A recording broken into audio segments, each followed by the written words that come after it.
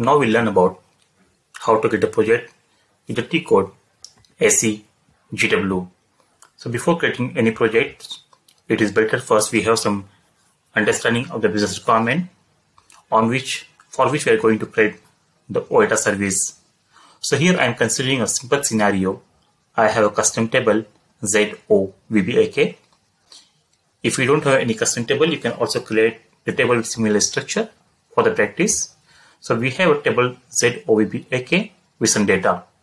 On this, I'm going to perform the CRUD operations.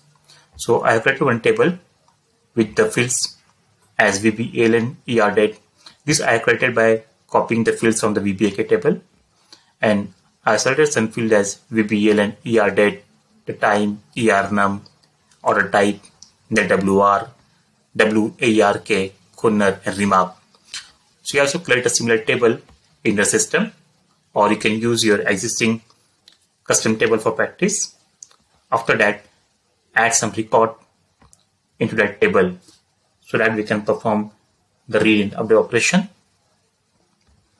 And once we done with our custom table, then we'll see how to create the project with SEGW. So here I have this custom table. You can see here. This is my custom table with some data. So now I'm creating the project. But I'll go to SEGW. Here the first icon is create. Click on this create project.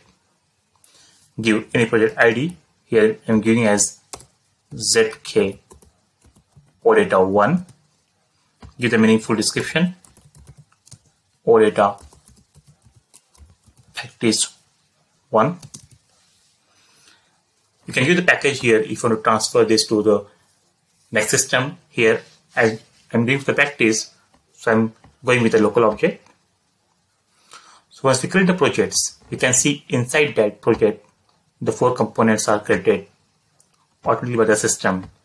There is a data model, service implementation, runtime artifacts, and service maintenance, which I have explained in the theoretical session.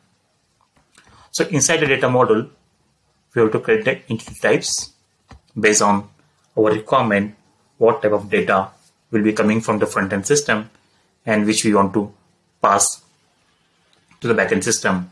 So this is about to create the project.